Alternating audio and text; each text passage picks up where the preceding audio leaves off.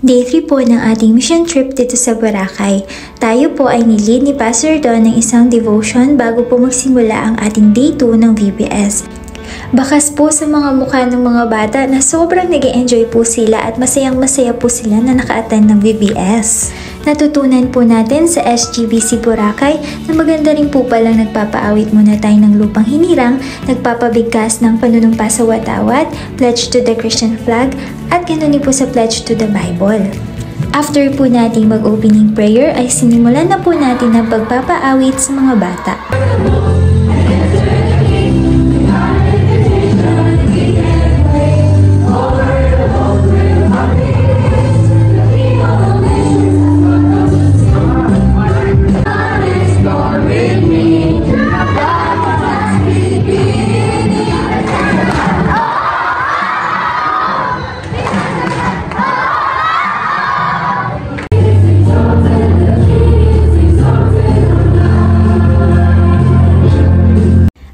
Si Sister Ida na full-time na pong nakakatulong sa gawain po dito sa Boracay. Patuloy po nating ipag-pray ang family po ni Pastor Don. Nabigyan po sila ng maraming mga co-laborers. According po sa kanila, parang lagi po silang nagsisimula kasi po yung mga tao po dito sa Boracay, they always come and go. Nandito lamang po sila para sa trabaho. At kung meron man po silang natitrain ng mga young people, nakakalungkot pong malaman na kahit ayaw po umalis ng mga young people sa gawain, kailangan po nilang umalis ng isla dahil wala po ditong senior high school. Ipag-pray po natin na bigyan po si Pastor Don ng Panginoon ng mga co-laborers na tutulong sa kanila sa gawain dito sa Boracay dahil hindi po nila kakayanin ito nang sila-sila lang. Malabanan at napakalaki, higante.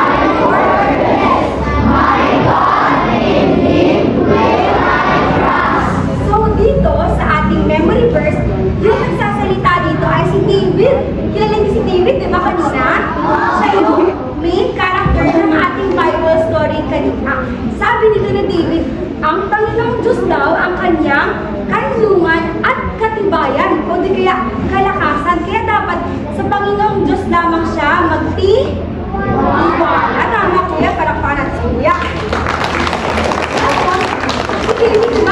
Titingnan natin, napakaliit niya, payatot, at bata lamang siya katulad natin lahat. Pero hindi naghihad lang sa kanya para labanan niya sino? Si Goliath na napakalaki at nakakatakot talaga na higante. Sapagkat anong ginawa ni David? Buong puso siyang nagtiwala sa Panginoong Diyos. Natutulungan siya at gagabayan sa pakikipaglaban kay Goliath. At si David ay naging matapang. Tama, di ba po yun? Naging matapang si David. Siya ay naging maging malakas. Sapagkat alam niya, ah, sino kakampi ng ni David? Si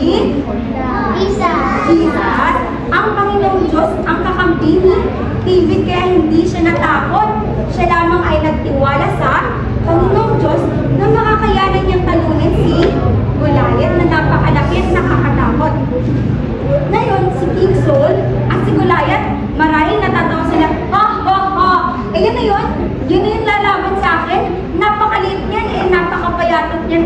Pero anong nangyari kay Aunt David, di ba? Nagawa niyang matalo si Goliath sapagkat nagtiwala lamang siya sa Panginoon. Diyos, dapat ganun din tayo mga bata.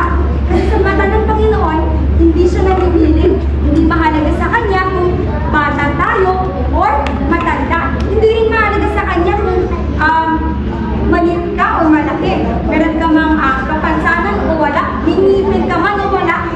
Lahat tayong mga tao ay pwedeng gamitin ng Panginoong Diyos.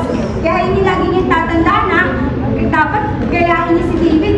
Huwag na magdududa sa inyong mga ah, sarili sapagkat kung alam niyo naman at willing naman tayo magpagamit sa Panginoong Diyos sapagkat nakikita naman talaga ng Panginoong Diyos yung ating mga puso. Gagabayan niya tayo, di ba ate po? Gagabayan niya po tayo at tutulungan niya tayo sa ating buhay. Kaya ngayon tatanungin ko, sino po din ang gusto magpagamit sa Panginoong Diyos? Ako! Yan, amen. Palakpakan po natin ang ating Diyos. Ngayon natin tulungan po natin kabisado. Psalms 91 verse 2. I will say of the Lord, He is my refuge and my fortress. My God, in His will I trust. Amen. Palakpakan natin.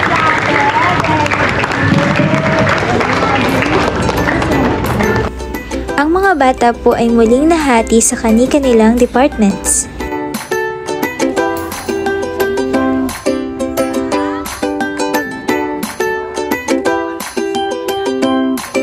Masayang masaya po ang aming team na makilala po ang bawat bata na nandito sa Boracay at masyiran po sila ng salita ng Diyos. Pagkatapos po ng aming pagtuturo, kami po ay pumunta na ng Faith Village upang kumain ng espesyal na lunch na prepare po ni Pastor Don at ng SGBC Boracay. Salamat po sa mga batang naturuan, Panginoon. Alam namin sila po ay nag-enjoy at sana po kumilala sila sa niyo po si Pastor Don, si Ma'am She, Ma'am Ida, yung mga people po dito. Salamat po sa mga pagkain ito. Salamat sa nagluto. In Jesus' name we pray. Amen. Dito na po muna nagtatapos ang part 1 ng ating day 3 mission trip sa Boracay. Kaon muna kami!